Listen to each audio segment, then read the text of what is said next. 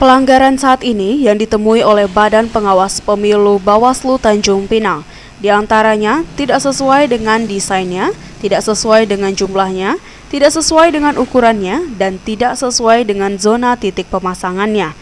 Diketahui, alat peraga kampanye sudah diatur di dalam PKPU 23 tahun 2018 bahwa alat peraga kampanye dicetak oleh KPU dan partai politik. Saat ini Bawaslu Kota Tanjung Pinang telah menertibkan puluhan alat peraga kampanye yang tidak sesuai. Muhammad Zaini, Kepala Badan Pengawas Pemilu Tanjung Pinang menuturkan, Bawaslu Kota Tanjung Pinang menghimbau partai politik dan para caleg ikuti aturan PKPU.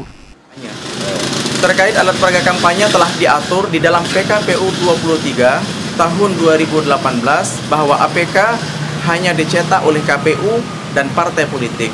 Kemudian, Kemudian ada, ada pelanggaran ini bang?